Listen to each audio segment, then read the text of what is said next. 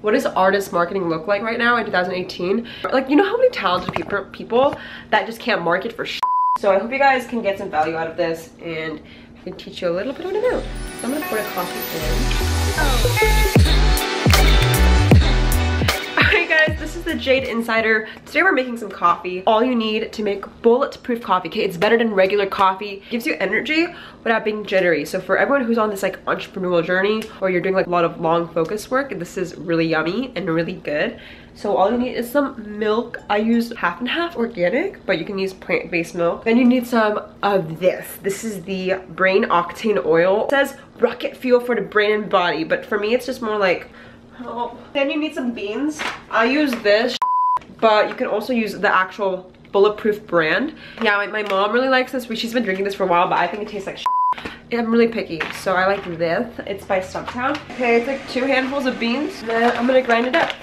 And I forgot if I told you guys my day, but it's been it's been pretty great. So I had a phone call and I've been really just invested in this like music industry thing. So I thought I'd share it with you guys some value I found um, and make some coffee. One of my uh, family's clients. I'm using four ice cubes.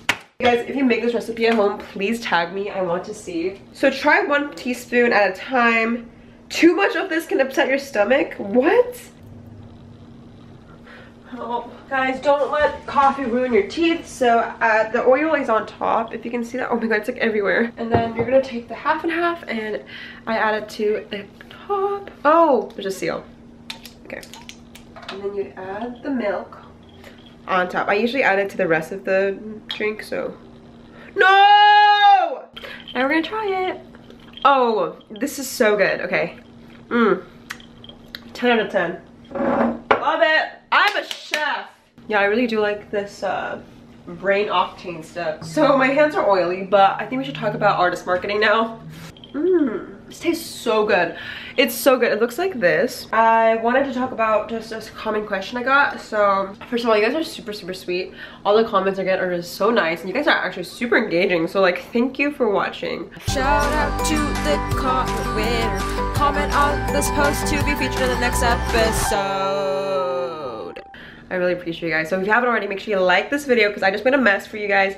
Um, and subscribe to this channel for more. I post every single day. So let's just get into the first thing. Um, the question I got was like, I was wondering what do you think about influencer marketing, especially from musicians? So artists are in a huge place right now. There's a huge just like opportunity there and I really do believe this is like one of my main my main next focuses like I'm already managing a few um, artists marketing strategies so I guess this is just an industry I want to dive into so good question. I've took a few courses. One of them is from a music management company in Netherlands and one of the CEOs was like basically create a fan funnel. Fan funnel is just a cone and there's four levels to it so the top of the stage is the awareness third stage is the follower then you have fans and then you have super fans so all of this funnel like thing I'm trying to say works for marketing, but especially for musicians when you're trying to create a fan base.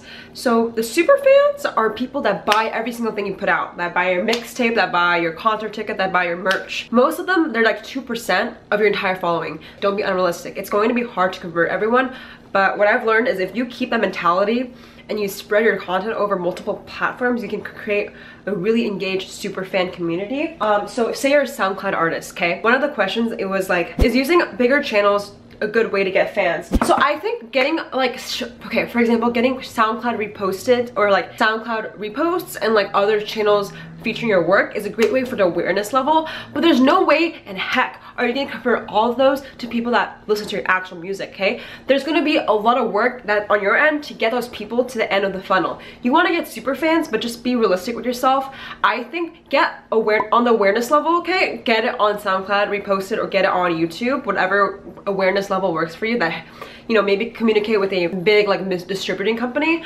But that awareness level needs to also be followed up with the followers. So make people subscribe to your Insta or uh, your YouTube or your Instagram, okay? Um, get them engaged and then your fans, maybe get them into your new mailing list or your exclusive um, for my example, I'm developing apps for personal brands, maybe get them into your circle. And then finally, you know, your super fans need to be like people that are like always in the whole 360 realm and you have to be creative with it. So I'd say that's my position on in regards to like oh God, that's good. So in regards to influencer marketing, make sure you have a small fan base but make sure you also think about a super fan base. I think getting reposted is just only the top of the funnel. You still need to do a lot of work. You still might want to place more ads. You want to do more collaborations. You might want to post daily content to get your followers going. It takes time guys. There's no way just by getting reposted you're growing a fan base. Um one of my friends who's a it's like killing it with SoundCloud. Elijah with like 16 million streams, right? So like he puts in a lot of emphasis on posting a lot of work and one of them will gain momentum and you still have to follow up that work with really good content after because you don't want to be a one-hit wonder okay? Whatever happened to Carly Rae Jepsen you know uh, that song like call me maybe was a freaking lit song and now she's just like not here. So think about time always distribute your content over you know long-term time instead of short-term and that will make sure you're in the game for a long time instead of having a one-hit wonder career as a musician I really need to get ready. So um, I hope you enjoyed Jade Insider Coffee Edition. And I hope you guys also make this because it's really, really yummy and really good for you. Mm. Hold up. If you could do me a huge favor, give this video a like and hit that subscribe button to turn on my post notifications.